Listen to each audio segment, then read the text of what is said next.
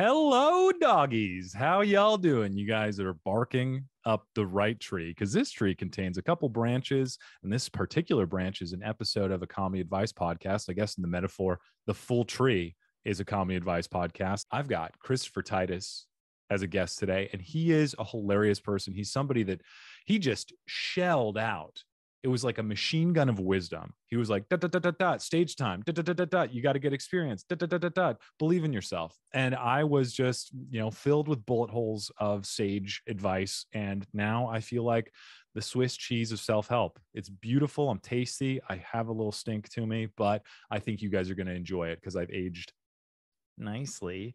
So um he's also going to be in Phoenix this week. That's why I'm pumping out so many episodes. We've got just a gourmet charcuterie of comedy. We've got Christopher Titus, Pablo Francisco. Um, so go see him. Link is going to be in the show notes. See Christopher Titus. Just see him. I mean, go to his show. Don't just stare at him. Laugh and do all the comedy club procedural stuff. And if you guys haven't yet, get those tickets September 8th. I am going to be on my new show, Trash or Treasure with Lamar Mitchell Jr. We're going to be hosting a oh so delicious show where it's going to be a tournament style. We're bringing up topics. Two comedians have to go head to head in each round to debate whether a certain topic is trash or treasure. For example, ironic Star Wars shirts, trash or treasure. I don't know. Millennium Falcon, trash or treasure. I think that might be a good one. But anyway, the audience gets to decide who is the winner and who gets sudden death. So there is a trap door. Don't tell the comedians, and the loser just gets sucked down. And we do. We did uh, thanks to the all the support and and uh, the GoFundMe. We bought a Rancor. So the Rancor is going to be at the bottom, and everybody gets to view the Rancor devour the loser. It's going to be so good.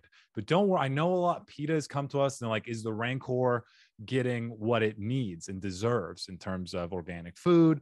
Don't worry, the Rancor is actually on a field. It just goes under the stage for the show, but it is happy as a peach, as happy as a Rancor peach. And it is, we leave it a little hungry. So it skips lunch that day because it's about to devour four comedians, five perhaps. But, um, you know, it's going to be a good time. I feel like I spoke way too much about the Rancor, but I know just in case anybody was worried, you feel like you got to cover that, you know?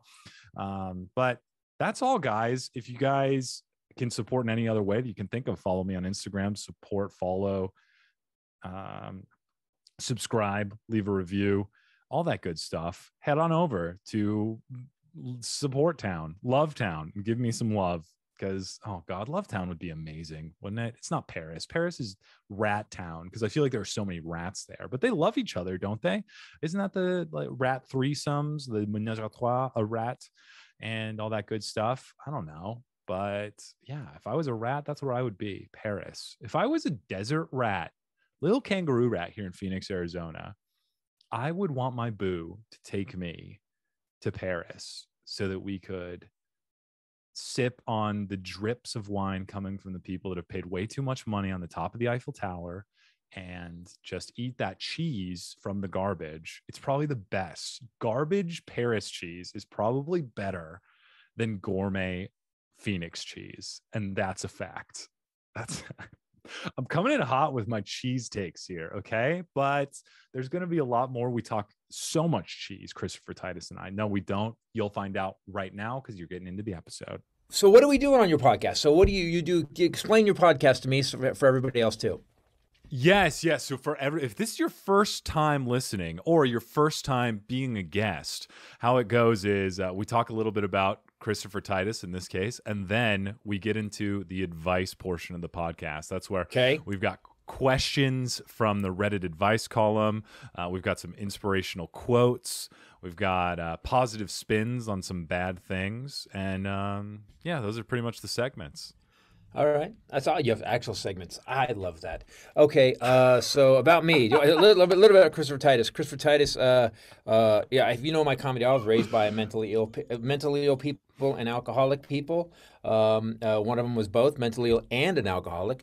Uh, the other one was an alcoholic and violent. Uh, turned out, I guess, I turned out okay, um, but that's only because you can't see inside my soul. and then I, I, I I have no other skills, so I started doing comedy. I literally started doing comedy at 17 years old. My first set was in my high school. Um, we did a senior follies, and I'd never done comedy before. In a sense, like no one knew I had this. Like I wanted to, so mm-hmm. it was very. It was people were like, "This is gonna suck." They were like, they were couldn't wait for me to tank it and I, I wrote jokes about all the teachers, slammed them, wrote jokes about my friends, and then at the end of it, we actually tr- we did, and and I was in in the auditorium, and I'm just beating on the teachers. I, I was a senior. I was done. What are you gonna do? What are you gonna do? Get rid of me now? and then at the end, I had a a buddy of mine. We trashed a freshman. My last bit, my closing, my first set of my closing bit was we drug we actually had a volunteer freshman who we had hogtied him and we drug him on stage as, as a volunteer and then explained to the juniors who are coming in as seniors how to trash can a freshman. Then we proceeded to actually trash can the kid on stage and left him with his feet sticking out and just walked off and let the garbage can set on stage. And so that was my first set and i got and when I got done, people were like, "Dude, uh, we didn't. None of us even knew you wanted to do comedy. You just you're just a douchebag in class." And, and uh, so I, that's that was my first set. Then I didn't do comedy again until probably two years later, two and a half years later, nineteen, and that was it. And then from then on, it's just Dang. been suffering and pain. Now this this is why I I was gonna say adore you, but I don't know if that's a weird word to say. But this is that's, why I look dude, up to you. You know, man, it's it's 2021. We're dudes. I adore you too. We can say that. It's fine. but I'm i really, fi- I'm is... fine with it. and this is I may I... I... may cherish you. I may even cherish you. If you adore me, I may cherish you. That's how that works. I was I was about to slip out the c word for you too. I cherish you too, Christopher.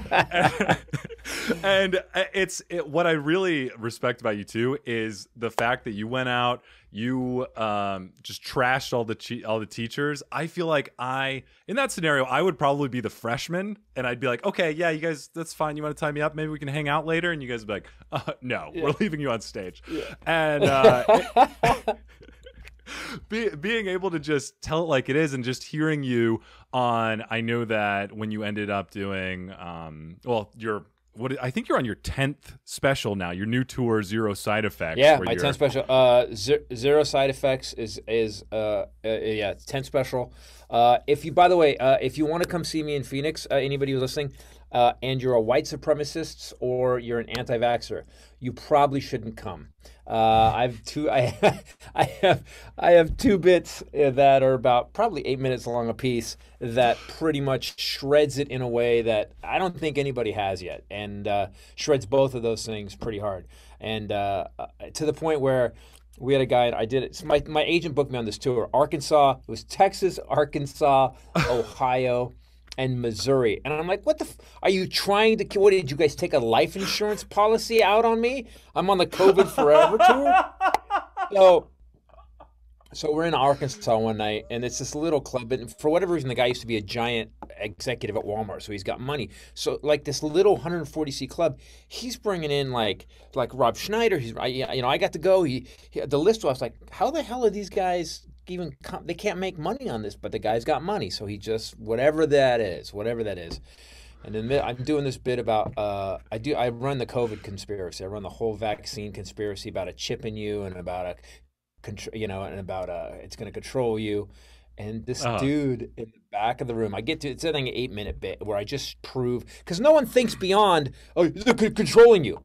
Oh, okay. So how's that going to work? There's a chip that that would have to be so high tech. We'd have to bring Steve Jobs back from the fucking dead to make it work. And then it, they inject it in your body. Somehow it finds your nervous system, hooks out its robot nano arms, like like Doctor Octopus from Spider Man. And we can all agree that superhero names suck. He's got 12 arms. He's a doctor, Doctor Octopus. Oh, he's silver and he surfs, Silver Surfer. Uh, he's a he's a man, but he dressed like a bat. That's a tough one. Like I anyway. So I do this whole thing. But anyway, so I do the bit, and at the end of the yeah. bit, the audience is roaring. This one big dude, big redneck dude, stands up in the back, goes to the owner and goes, I'm tired of listening to this shit. I just I just totally destroyed his entire breakdown of how the chip would control you. And I can live with that heckle. You know, I always think if I'm not walking one or two people a week, you know, on a really good show uh, and a good, really good set, when I'm really pushing it right, when I'm hitting the right buttons, two two people a night, I'm I'm okay with. Out of a you know audience of 400, if two people get up pissed and walk out, that means I'm bumping up against it. I'm just bumping up against the the right amount. You know, even better, you might be saving lives. Maybe that gentleman went home that night, pondered his whole existence, life, what he was doing, and maybe he got vaxxed the next day. Who knows? Yeah. Well, it's funny because when, when you I have I have do you have any smart friends? Like I have friends that I consider or I considered smart, and they're like I just got one from uh, the other day. He's got a makes a lot of money, great business, and he was just like he's like, yeah, man. He goes, the, the shit you're spewing right now, you might as well be reporting for CNN and MSNBC. And I'm like, I, I'm I'm I'm just reporting facts and shit. Like I always say, fact me or fuck off. You can say he goes, oh yeah, right. The government's just just uh, totally nice and they love you. Is that your fucking argument right there? Is that your whole fucking argument? So I, I'm kind of.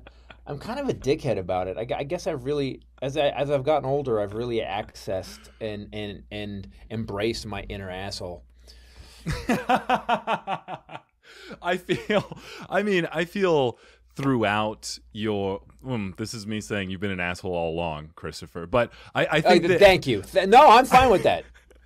I, I think that you've been, and I like to surround myself with people that are blunt and straight to the point because that way there's no sugarcoating things. I know where I stand with that person, and I feel like, right. okay. Uh, and my wife, same way. She's very blunt. She tell if she doesn't agree with something or feels like something is, is wrong, then she'll tell me, and I'm like, okay, well, I don't have to guess why I'm mad anymore. So, or why you're mad right. anymore. So I, it's it's. I have one of those. I have one of those too. I have a good wife. I have I have one that will just flat out stop stop. What did you just say? And then I'm like, oh fuck. yeah, I, I, I like those women. I, I like those women. Uh, my wife calls them alpha chick. She's a comic too. She does a she does a special called Alpha Chick where she talks about how women women like that run the world. You know. Mm, yes, yes. Uh, that my favorite type of women. That's strange to say, but I, I think that it, your wife also. I was going to ask this because you, um, you guys do the podcast together, the, uh, the Christopher Titus podcast, and you also yep. she's your goes on tour with you as the opening act. Yes, yes, she. Well, here's the thing: is that's such a weird thing, and we there's a couple of uh, comics that have done that, and we know, and she booked comedy clubs for six years. So she okay, okay, kind of she knew she she knew and knows everybody because she booked them. She booked six different funny bones, and she would travel around wow. all the time. And and so when I showed up at a club, my, my marriage was was done, and and I was not in a mm-hmm. good way. And for whatever reason, we hit it off.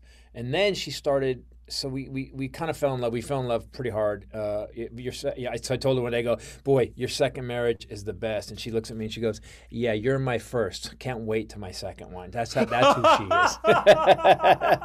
that, that's who that's who she is. So uh, she started giving me jokes. I was I was writing Love Is Evil at the time because of my divorce, and she was the other mm-hmm. half of Love Is Evil, my new girlfriend. And she started mm-hmm. going, What if you said this? And she started giving me these really fucking solid jokes. And it was kind of annoying because I've been doing comedy since I was a kid. And I'm like, you shouldn't just be able to fucking be tossing shit off to me. Like it's, and it's as good as, or better than I would write sometimes. And so I started, yeah, I just, yeah. she did that for a while. And I, and I finally said, listen, uh, you need to write your own show.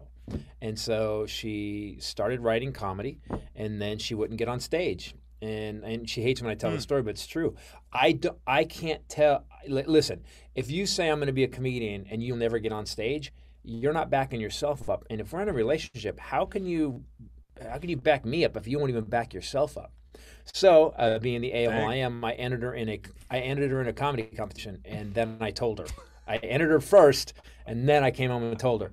And she was, dude, you want to talk about a fight? Holy shit! She was like, "What? You can't enter me in a motherfucking comedy competition? I decide when I'm gonna go. Oh, when I'm ready, I'll do it." And then we were arguing, and she goes, "When is it?" And that's when I knew I had her. Ah, when is it? You said when is it? So.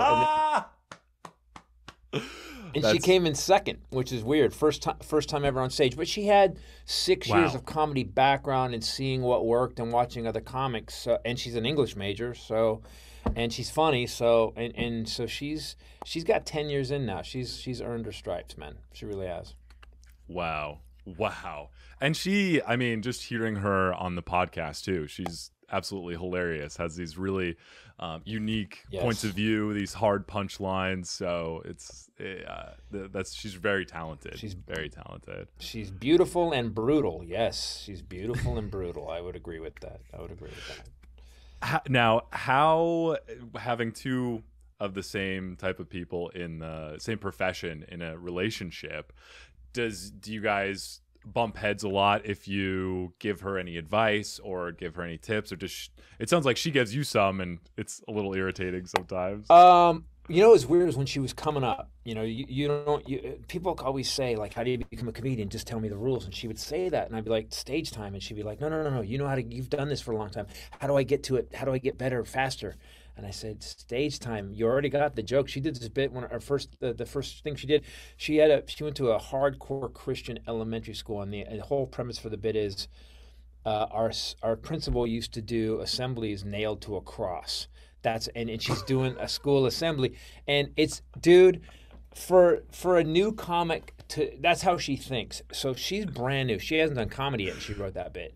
And I watched her do it the first night when she came in second, and and the bit kind of didn't do well. And she's doing she's doing Jesus, but as she starts like losing faith in the bit, uh, well, ironically, her arms start dropping, and she ended up kind of low five Jesus at the end. It was like she was just like way down there, and and she gets off stage. She goes, she goes, the Jesus bit. I'm not going to do it anymore. It doesn't work. And I said, I said, no, no, no. I said, no. You're not. You don't know what you're doing yet. I go, that premise is so mm. far beyond. Your writing is so far beyond what you how you what you know how to pull off right now. Just just put it away. Put it away. Give it two years and then try it again. And she did it. End up in her special, and we'd use lighting and stuff, and it's one of her best bits. But she wrote so far ahead of her performing ability. So so she's been doing comedy 10 years now and she came to me. We were just kind of hanging out at a club and she gets off she, she blows the roof off one night and and uh, she's always funny but you have, we all have great when you have a great set she's like and she and she said i knew what i was doing every minute. Like when they laughed i knew what was coming next. I knew the timing and then she goes stage time. And i go ah that's stage time. So i can i can give you all the advice in the world any great comic and i and i got it too man. When i started kevin nealon gave me advice dana carvey gave me advice um, you know uh, kevin rooney uh, gave me gave me all the advice that leno gave him. And until you've on, until you're on that stage four or five years and you're and you've played the shittiest gigs you've ever played and you've played some good gigs and you've done shitty Christmas parties, which I got a story about one of those, man. Um, yeah yeah and I, because I sometimes I learned by bad example. Sometimes I learned watching a guy who I opened for just motherfuck a crowd where you're like, oh, I'm never doing that. Holy shit. There was a guy named uh, Kip Addotta years ago. I did a uh, I did a Christmas party, and I and it was like Christmas parties are great in college because it's more money than you've seen, and so and it was only like at that time Yeah. three hundred bucks, which is like holy shit! Like I was so stoked because open mics don't pay anything, and uh, I do this Christmas party, and I'll never forget it. I, I don't know why this is seared in my memory. There was a company that made Uh-huh. boxes.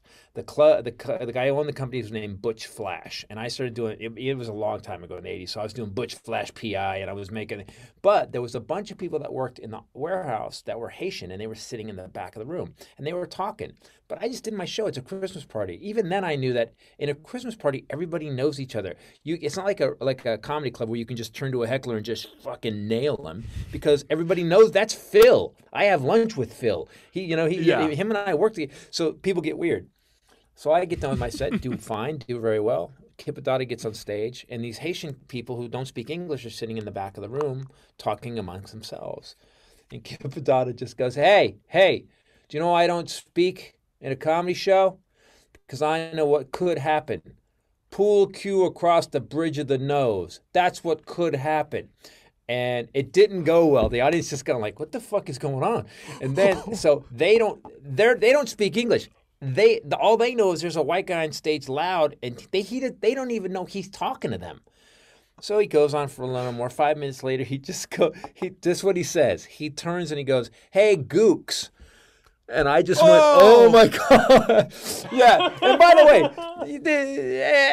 and I was like, "Oh no!" And and the whole place just went, just shrunk, and I, everybody was just like, "What the fuck?" And he tanked it for the next maybe twenty minutes. Oh, Gets off stage. grabs his check. Two guys meet him, and they went and got blow. He said, "We're going to go get blow. You want some?" What am, I'm like at the time I'm like 19. No, I'm good. I'm fine. but I, will never I'll, I'll never I'll never forget that moment where as a comic man you have to be able to read what's going on and he'd been doing comedy forever. That he was that pissy about that was just weird. But yeah, hmm. so I anyway, I don't know. I told, I don't know I tell you a story. I you just so stage time. So I got to watch other guys do bad things. I also saw Dana Carvey. Dana Carvey gave me the best piece of comedy advice ever. He said, "You hmm. have to learn to tell, you have to learn to tell the same story again for the first time." Oh, that's great advice.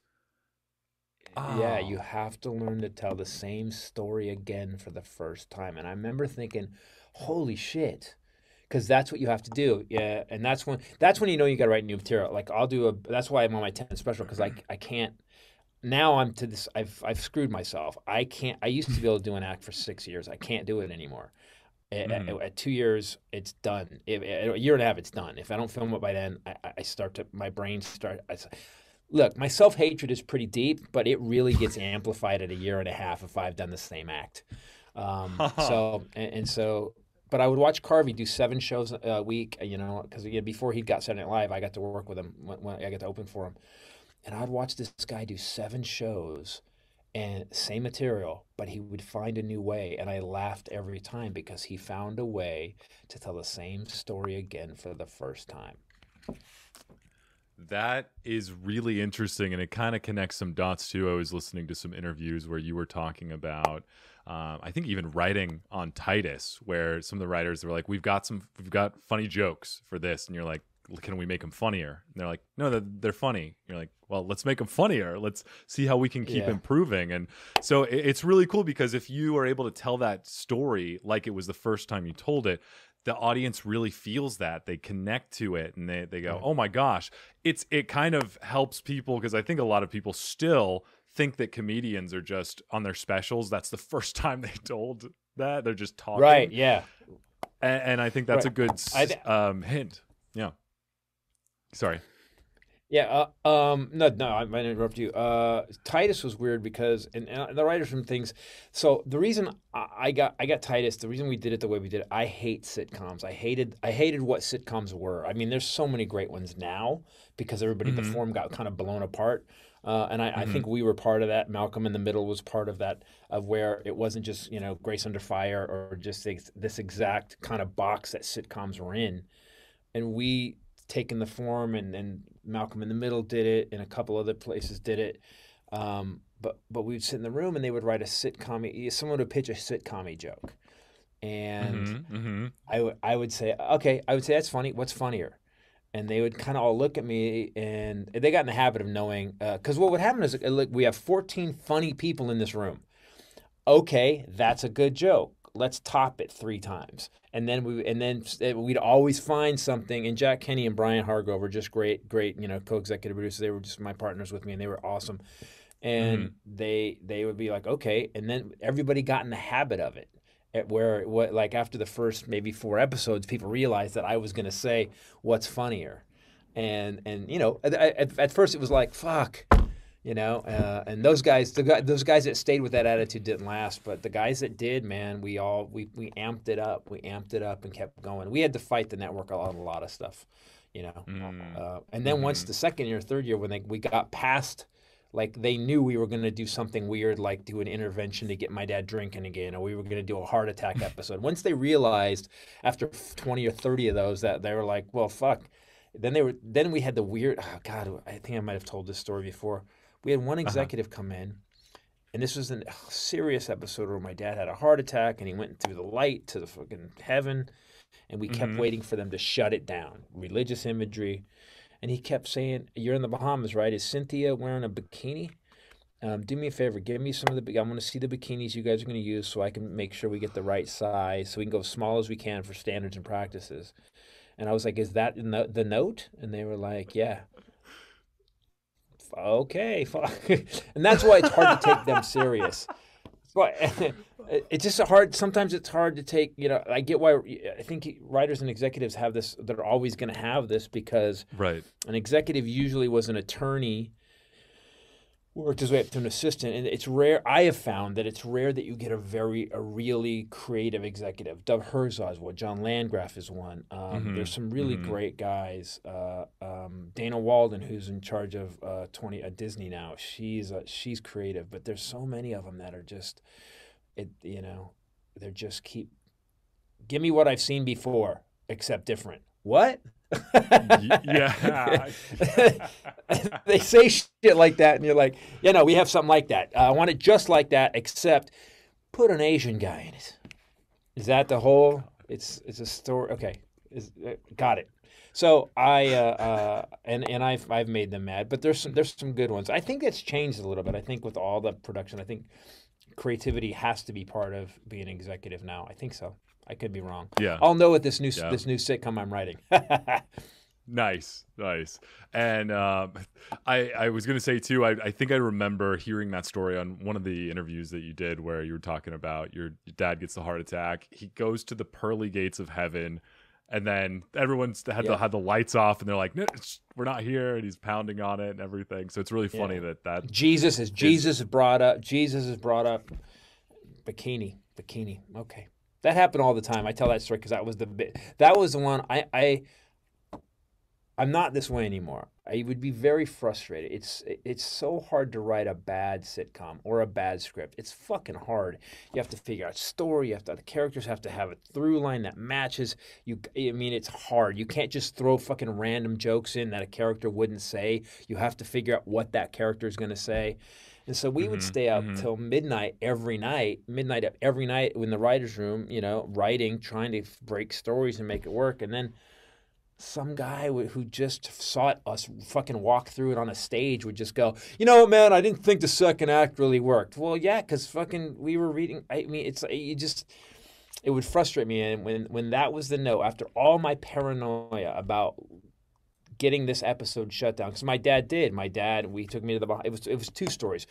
My dad had had four heart attacks. He also took me to the Bahamas where we were supposed to get along. So and we didn't, and so that was the basis for that real story, uh, the real basis for that story. And when this guy said, "Can I see Cynthia's bikini?" I literally had fucking fury come up in me, man. I was like, I tell the story like it's funny, but I'll never forget we walked out of the notes meeting and I went, That motherfucker, are you serious? Like all the shit we're doing, all the shit they complain about. And this episode's way worse than shit we've ever done. And this motherfucker wants to, to see Cynthia's bikini. He wanted to see it in his office. I want to see it. I want to be able to prove it.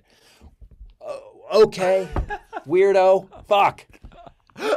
Sorry. I just get by the way, there was a bunch of stories like that. You know, I, the dumbest thing I ever yeah. did. I t- did. Did I? Did you hear the the David Hyde Pierce story? The thing I did with David Hyde Pierce. No, no, I didn't. David Hyde Pierce guested on the show.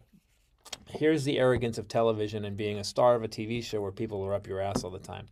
So um, Brian had a connection to David Hyde Pierce, uh, and David Hyde Pierce is the nicest guy. He'd already won like he, he was on his 900th Emmy or shit. I mean, he. Mm-hmm. They were mm-hmm. like they were just mm-hmm. sending him Emmys now. They weren't even. They were like, yeah, we're not nominated. We're just going to give you one every year now from now on. And he agreed to do this to do Titus, and he agreed to do an episode called. Um, uh, it was the, the, seminar or whatever it was, and he played the seminar mm-hmm. leader. He was fucking awesome.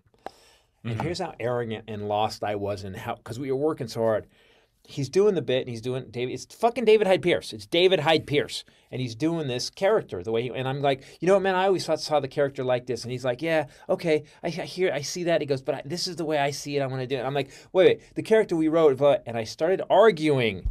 Me, no fucking actor guy, guy who fucking tells jokes to drunk people in a fucking nightmare redneck bar is giving David Hyde Pierce fucking acting lessons. I'm sitting here giving him fucking notes and all of a sudden, I, I, I David Hyde Pierce, and by the way, he's the nicest guy. He like anybody else would have just went, "Hey, dude, shut the fuck up. You're lucky I'm on this show." If I, you know, David David Hyde Pierce didn't do that. He just goes, he goes, you know what, man? He goes, I, am gonna kind of work on it my way. And and then I heard me talking to this motherfucking badass, probably one of the best comic actors we've ever produced in America, and I went I, I literally had I got cold and sweaty, and I went, "I'm sorry. Oh my God, no. Okay, I'm David. I'm sorry." I, and I go and I said, I can't even believe I was giving you advice. Oh my God, I'm so sorry. And he goes, No, it's okay. No, I go, No, it's not. You're David Hyde Pierce. And I walked away. And I, I think I annoyed him because I apologized to him for the rest of the shoot. He was there that whole week, and I just every day I'd go, David, I'm sorry. You're I'm the dumbest man in the world giving you advice.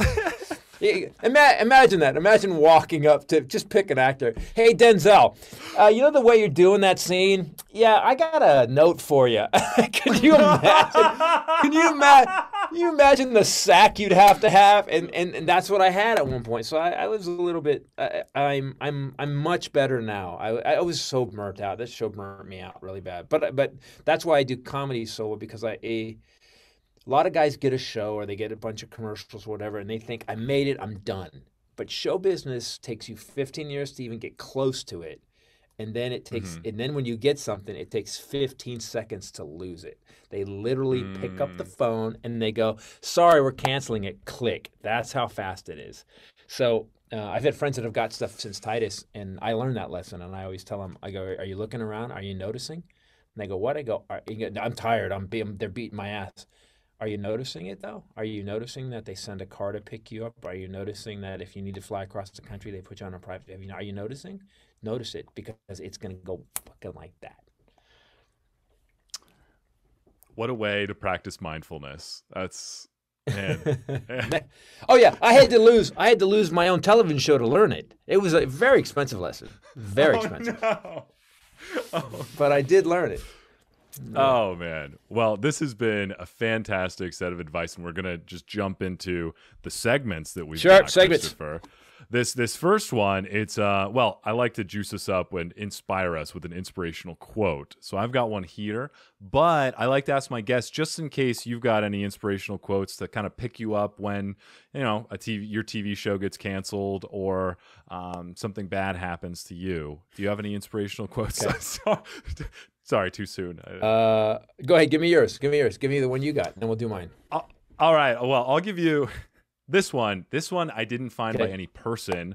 It's actually by a robot, and it's called. It's the chip inside the Pfizer vaccine. No, I'm kidding. Uh, it's by a robot called Inspirobot. So it uses AI to take the wisest words known to man, and it just scrambles them all together and makes an inspirational oh. quote. Oh no, I can't wait. So so I, I, just clicked and it generated one for me. I'll go ahead and read it. You can tell me what okay. it, it means to you. Um, okay. This week, Inspirobot says attorney is pretty much just another word for a person who's in desperate need of love. Wow. Uh, I had five attorneys in my divorce, and uh, I think they're in need of what Novichok, uh, that stuff that Putin gave to those people. Every attorney, every attorney I have met should have a Novichok cupcake. Is all I'm gonna say. It's I, not as inspiring. I know it's not an inspiring quote, but that's how I feel about attorneys. That's how. I feel. Um, I, you know, it's that's funny. Totally I, fair. Uh, I've written some quotes that for my sh- for my shows that ended up coming out of my brain. Uh, they'll be normal and the crowd will accept you. Be deranged and they'll make you their leader. Uh, I didn't mean it like what happened in the last four years. I meant that I find that the people that you're like, what the fuck is that guy doing?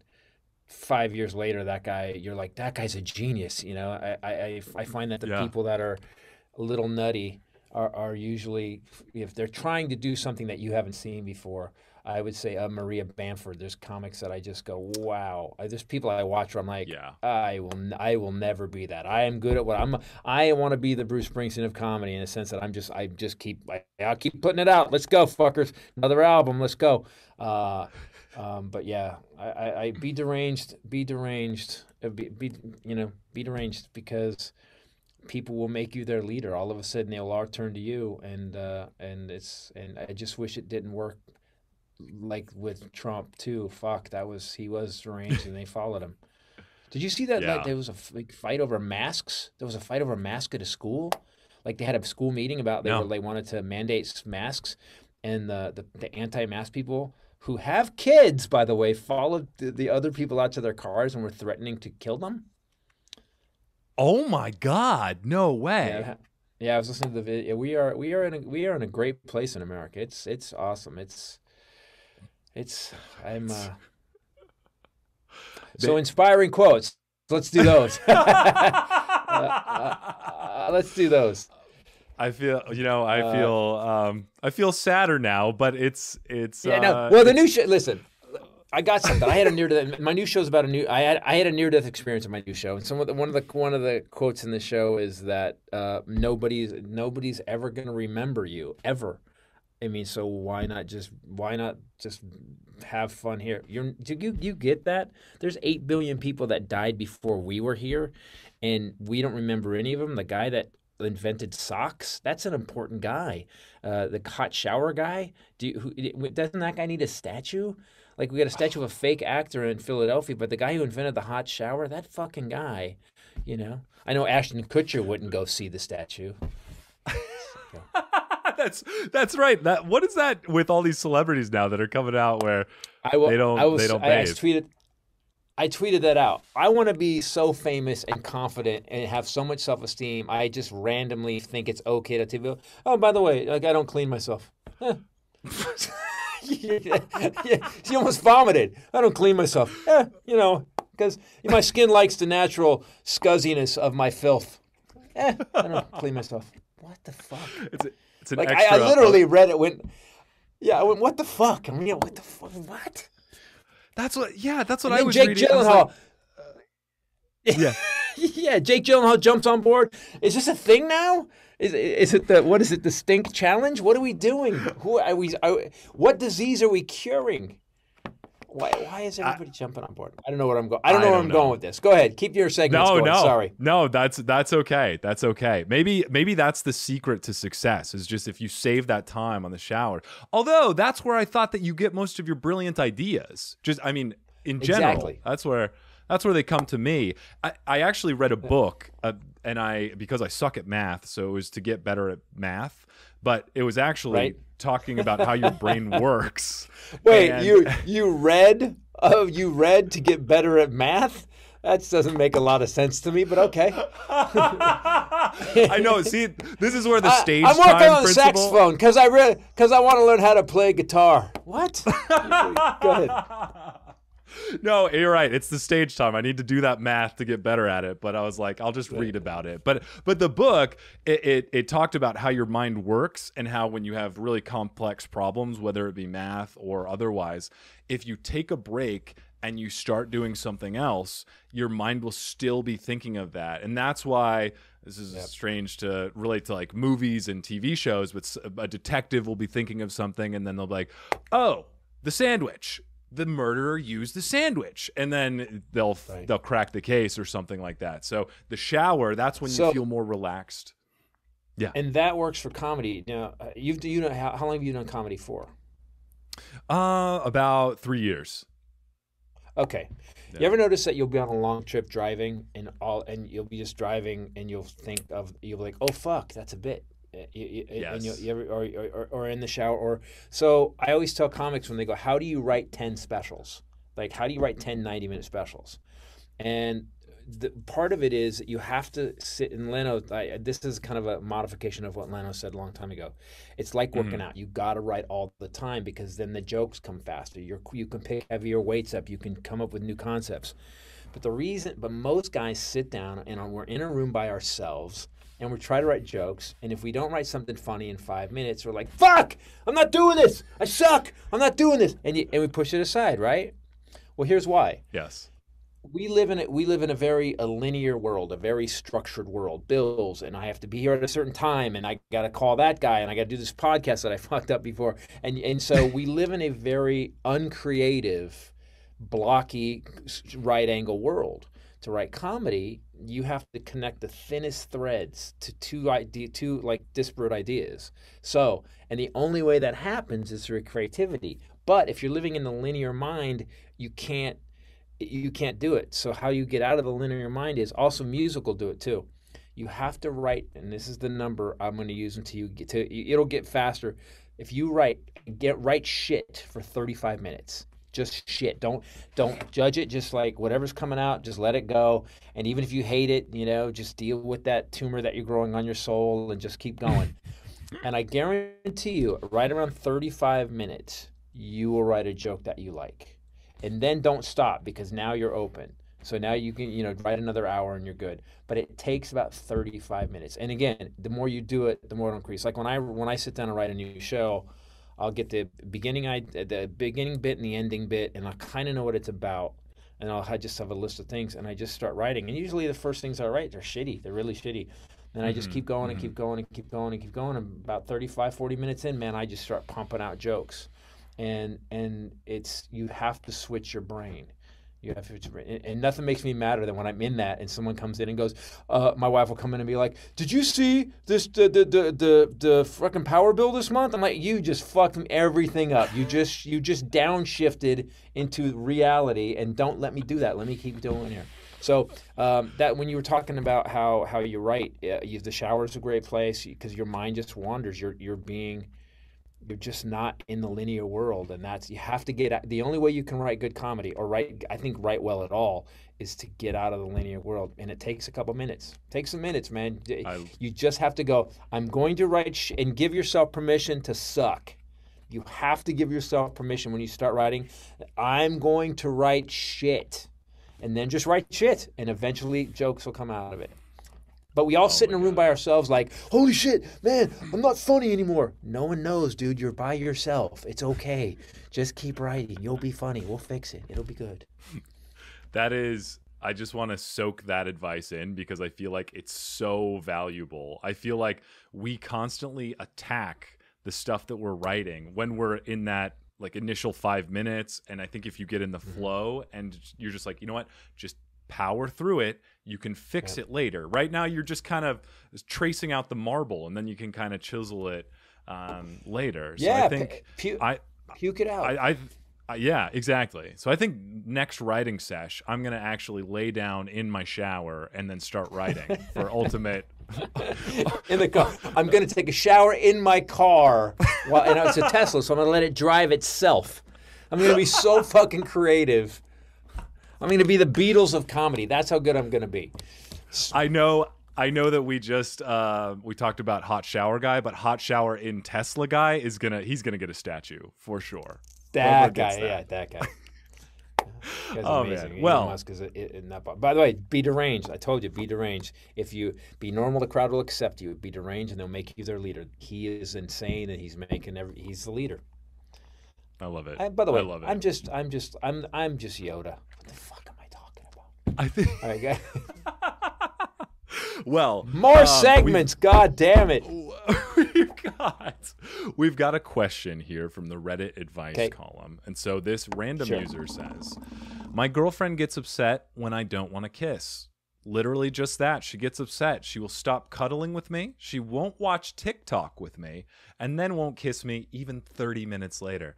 We've had issues with her getting upset when I've said no to things in the past before. I don't want to break up with her. We've been friends for years and dated almost a year now. She's been there for me and I don't know what to do without her, but I can't keep dealing with this. Thank you. That Okay, what do you think about that? As a, as a, I mean, I'm gonna, I'm gonna take an old school dude approach to this. Your, your, your girlfriend wants to kiss you, and you say no. The fuck is wrong with you, dude? I, I mean, I have a wife, man. I'm on my second wife. Uh, let me explain how this. There's gonna be a day you look back and go, man, that girl wanted to kiss me all the time, and now this girl I'm with right now, she's taking my kids and wants a divorce. So how about you just kiss the girl, uh, and if it's a halitosis issue, get her some get her on a dental plan or something. But help her. But what are you doing, bro? Is that really? Is that your? I had a woman. I had a divorce. she was fucking two other guys. I'd oh, paid no. for her boob job, and she took my and she told she took my kids. So oh. I would say, uh, kiss your girlfriend asshole. Sorry. Sorry. not, to be, not, to be a dick, but really, is that your is that your issue?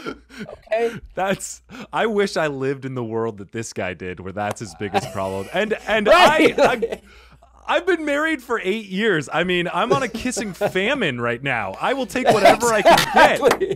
We, we Oh, live in oh, the fuck. Ethiopia of kissing, motherfucker, and you and you are bitching about it. Wow. Oh God. All- All right. Well, uh, may- maybe wrong question to ask this crowd right here because yeah, it's exactly. stirred up some emotions for us. Oh, man. Whew. All right. Um, well, we we we've got this. Uh, oh, we've uh, we've kind of gone over time here, so we can cut this at an end right here, right now. Christopher, thank you so I much. am very. I have to. I have to go. All right. I am very. Uh, I'm very talky. Sorry. Oh no, I enjoyed all of the talkiness. It's been a pleasure, and I feel like I, I've I, we've been able to shuck some comedy pearls from Yes, from you. I mean, you you are so Wow, you mix your the- metaphors. Would you shuck pearls? You usually mix comedy metaphors like crazy. You shuck pearls. Yeah. Wow. I don't wait. How do you wait? You oh, you shuck oysters and then get the pearls. There we go. Right. Oh, is it shuck? I thought you. Sh- I thought you shucked corn. I didn't know you. Sh- you shuck oysters too. oh, maybe I've been getting it wrong. I, well, I, I, just- am I- from don't know- Arizona, I don't- so I don't know wow. anything so, about so pearls seafood. So a big, a big seafood guy is what you're saying. I. Uh, I don't. Uh, anything that looks like a booger, I don't eat anyway. So oysters. I just never. I just never. I just. I always. You know. I'm a, a tactile guy. To like that's not. That's something that comes out of you, not something you put in you. Yeah, yeah, I, I agree with that. It's so slimy and gross. Maybe I, I should have done the So- metaphor as like a desert thing, like we found the water in the cactus. That's more my home go. turf. That's That's that's that's better. Okay. That's better. So I'm gonna be there in Phoenix, man. Next week, all new show, uh, zero side effects. It's uh, I think it's gonna it's really good, and I tell a near death story in it that I had a near death experience uh, at the dentist uh, that changed my entire life, and that's that's part of the show. Oh my god! Wow, I am super excited. And and guess what? All you listeners, if you're curious, and especially the Phoenician ones, links are going to be in the show notes, not buried like the water in the Arizona soil. It's going to be right up at the surface. You can just click there. You can just use your thumb. You can be there. You can shuck. You're amping up your those. metaphor game. I like. It. Yeah, yeah. Uh, yeah, I like. Well, Oh, thanks for having me on, man. I, I hope it was all right. Thanks for listening to me babble. I appreciate it. And that's the end of the episode. What a fantastic one. One of my favorites, in fact. Christopher Titus, a gem, if you will, a true treasure. Speaking of treasure, don't forget the Trash or Treasure Show. Don't forget Christopher Titus in Phoenix. All those links are going to be in the show notes. Show us all some love. I'll show you some love in return. Oh my gosh. Speaking of, I do have to give some shout outs. Kim, thank you, Kim, for all the love and all the comments that you leave on YouTube. And I wanted to give my Aunt Rose a big thank you. My Aunt Rose has been awesome. I went over to go see her the other day, and she's just been a true, a true ruby in my life. She, her favorite color is red, so I had to choose a gem that is red colored. And she's just been awesome. She's supported me so much, and she listened to one of the episodes, and uh, she listened to a lot of episodes. But she told me she listened to the last episode. She really liked it. The chemistry with me and Lamar uh, et cetera, et cetera. And I was just so, so touched. You guys should get yourselves an Aunt Rose if you haven't already. But she's awesome. And thank you for all of you guys that have left me DMs, uh, talked to me in person, commented, all that stuff. It's true. Uh, it's like a raindrop. And, you know, just one raindrop is boring. But if you have multiple raindrops, you get rain. And it's, I am wet with all of you guys' love. It just got me soaked. I'm dousing wet. And thank you guys so much. Thank you, millions. Love you guys. Big old gooch smooch. Mwah. Ciao.